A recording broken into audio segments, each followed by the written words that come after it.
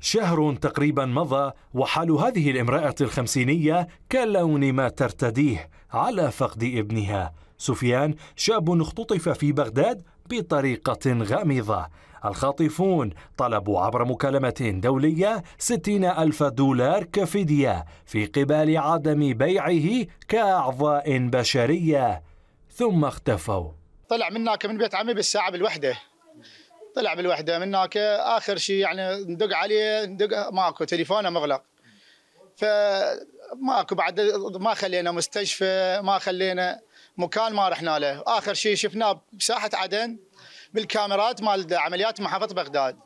وراها يعني ورا تسعة أيام إجانا رسالة اجتنا رسالة بالواتساب على أساس هو مخطوف.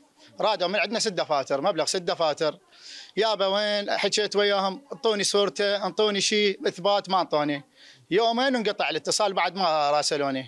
ويهددون بأعضاء بشرية. سفيان غيب قسريا بعد اختطافه من قبل جهات مجهولة وهو ليس الضحية الأولى مؤخرا. هكذا يتحدث وجهاء قبيلته أما عائلته فتطالب بتدخل الجهات المعنية لإنقاذ ابنهم.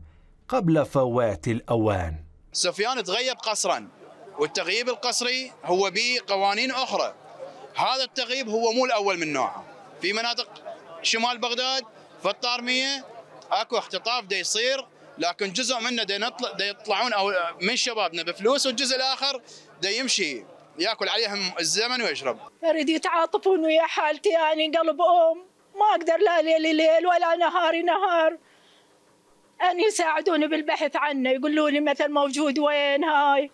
عودة جرائم الاختطاف والتغييب القسري في مناطق شمال بغداد رواية إن صحت فتمثل مؤشرا مقلق عن الوضع الأمني في تلك المناطق وأهاليها وفق متابعين ما يستدعي من الأجهزة الأمنية تكثيف جهودها. حيال هذه القضية. من العاصمة بغداد بدر الركابي التغيير.